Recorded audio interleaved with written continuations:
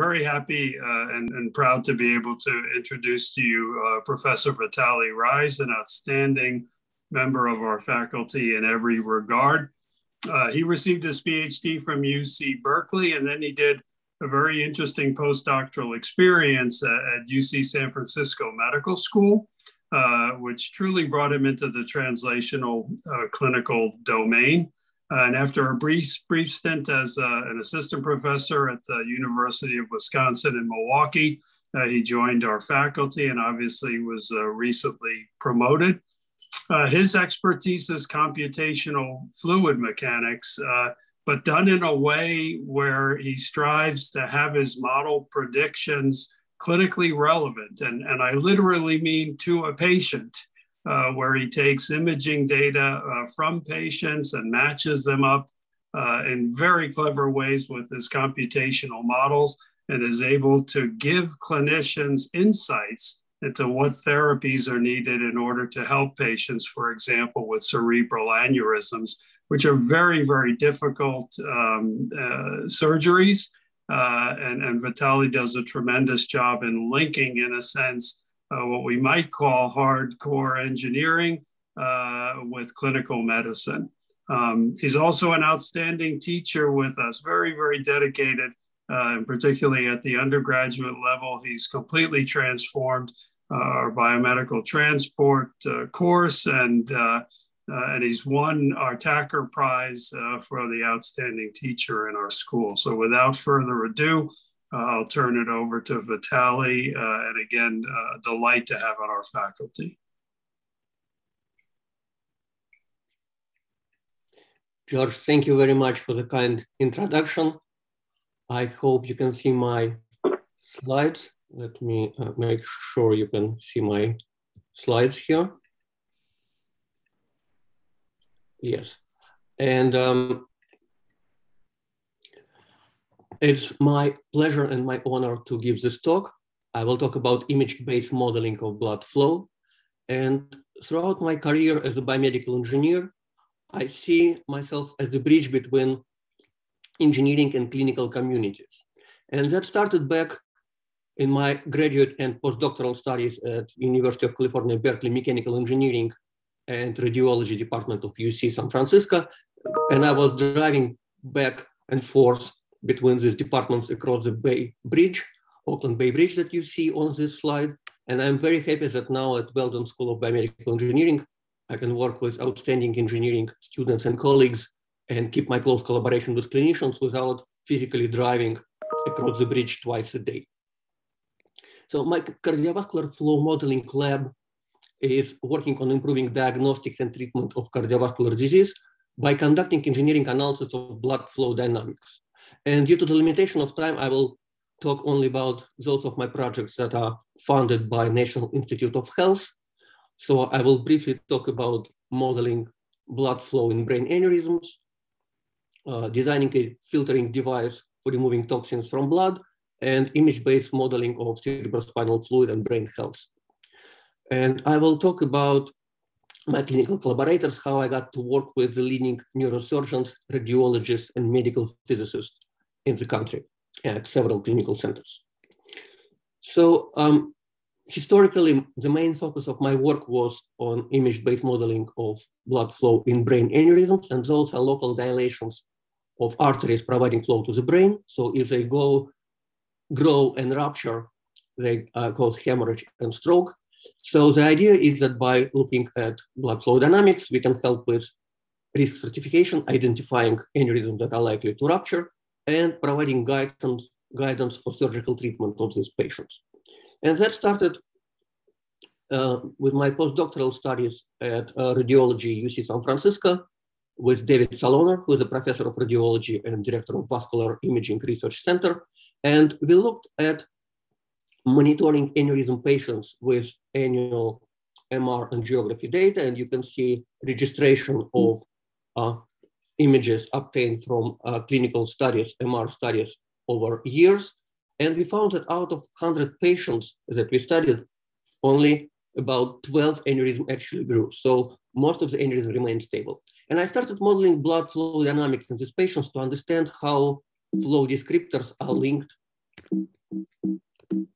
I'm trying to advance my slides, how the flow descriptors are linked to aneurysm progression. And we found that indeed aneurysms that grow tends to have low wall shear stress, frictional force uh, between the flowing blood and vessel wall.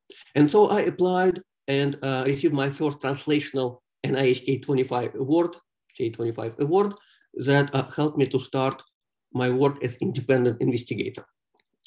At that time, I started working with Dr. Michael Lawton, who is a world famous neurosurgeon treating these uh, patients.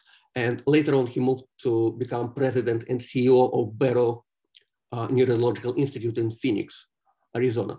So uh, I started modeling these surgeries uh, with uh, computational fluid dynamics to predict postoperative flow fields. And we developed this virtual contrast method of visual, visualizing blood flow and indicating regions with increased flow residence time that could predict blood clot formation in aneurysm following surgery. So we uh, were supported by NIH Heart, Lungs, and Blood Institute larger R01 grant and uh, successfully predicted postoperative uh, clotting in a number of these patients. So at that time, I realized that to continue with my studies, I really need engineering students and I need to be in uh, engineering department.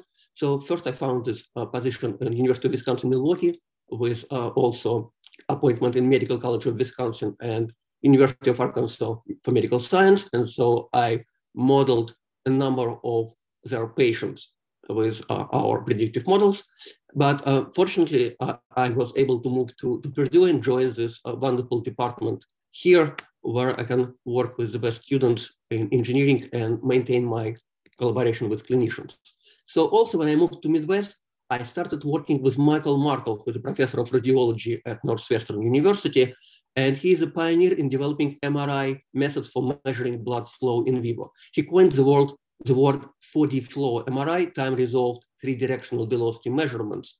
Uh, so by cleverly manipulating magnetic field gradients, you can get um, velocity vectors over the cardiac cycle. And comparing these images um, of blood flow with MRI to our computational models, we understood that each technique had advantages and limitations, modeling assumptions of computations, uh, limited resolution and noise of MRI. So the question is, can we somehow fuse this data? Can we blend these two techniques to uh, overcome limitations of each approach? And since we don't know the true flow in a patient, we need some benchmark data, some test data. And that's how I expanded into experimental studies. And we developed a method for 3D printing transparent flow phantoms for experimental flow measurements from uh, medical images. And I started my close collaboration with Pavlos Vlachos in mechanical engineering here. Uh, and uh, in his lab, they use particle image velocimetry to obtain highly resolved time-dependent uh, volumetric data in these phantoms. In parallel, I started working on in vitro and in vivo 4D flow MRI measurements at Purdue, and you see um, measurements in flow phantoms and in healthy volunteers obtained on three Tesla scanner at Purdue MRI facility. So this work is supported by NIH R21 exploratory grant uh, between the team of Purdue and Northwestern. And we are developing methods to enhance resolution of MRI so that we can better get relevant flow descriptors. But ultimately, our goal is to identify aneurysms that are at risk of growth and rupture. And so we want to combine clinical risk factors that are currently used in clinical setting with our engineering analysis with the risk factors related to blood flow. So for developing predictive models, we need a lot of data, a lot of patients. And my connections to uh, clinicians at several centers help to put together a team of investigators from Purdue, Northwestern, Barrow Neurological Institute, and UC San Francisco. And we recently were funded by, again, NIH Heart, Lungs, and Blood Institute R01 grant. So the idea is that we would use those uh, enhanced 4D flow MRI measurements in patients to predict aneurysms that are at risk of growth and rupture. Expanding this method to other vascular territories, I started working on a biomedical device for capturing toxins from blood. So uh, when uh, liver tumors are treated by injecting chemotherapeutic drugs in the arteries feeding the tumor, large fraction of these drugs pass into systemic circulation, causing side effects.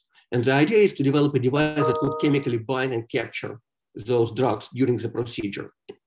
So from simple initial design, we went to a fairly sophisticated three-stage multi-channel design. And this work is collaboration with UC San Francisco, University of California, Berkeley, and Caltech, and it is funded by a National Cancer Institute R01 grant. So we conducted multi-scale and multi-physics computations coupling flow dynamics and transport and using analogy between heat and mass transport. And in, as you can see, we developed this honeycomb multi-channel configuration. We recently got a US patent for this device.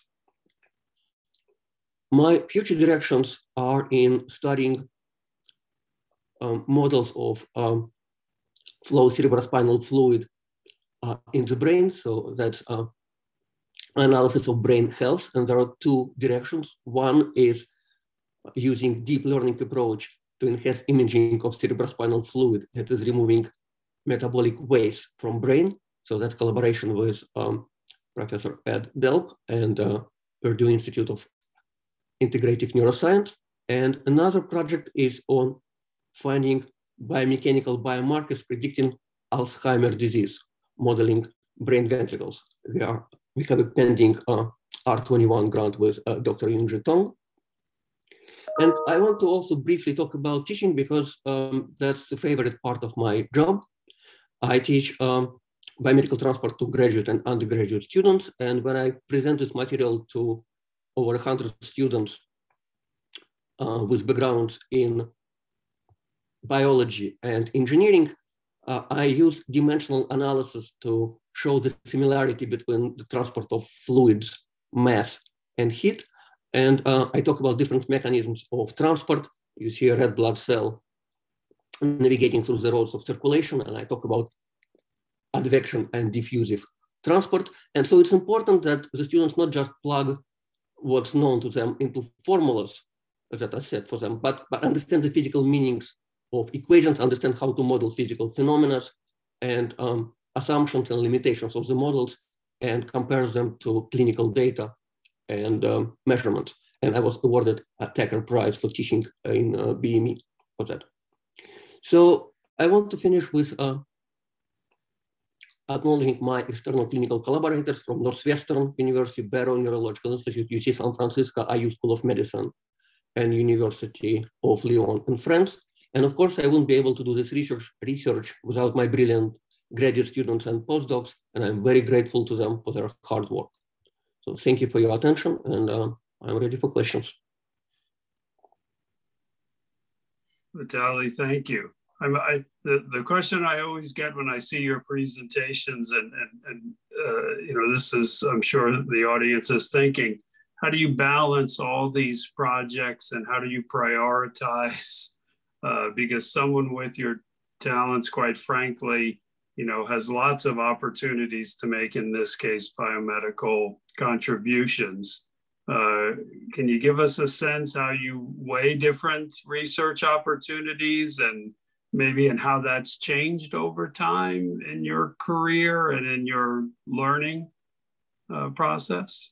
Thank you, George. That's a fantastic question. That's probably the single most difficult um, problem, most difficult questions that I have in my research. And um, I think my collaborators and my students help me very much. So I see what is interesting to my lab, to my team, where we can make uh, progress. And um, my students explore uh, multiple projects and whenever we see an opportunity, something where we can really make a difference, uh, we advance in this direction. So I'm really grateful to my grad students and postdocs for helping me prioritize. Yeah, that's that, that's what I found too. That that diversity of opinion that you know also sometimes crosses generations uh, can be tremendously valuable in terms of, and, and it brings a cohesion to the lab. Vitaliy? Yes. I um I'm going to ask um, Alice's question for her. Um, what advice would you give your early self, given what you know now? Well, I would um, advise myself to remain confident and to get involved in data science as early as possible. Thank you. Data science is awesome.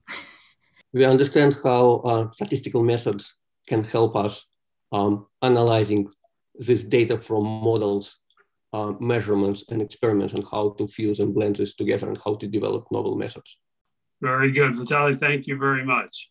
Thank you, um, John. Thank you, everyone.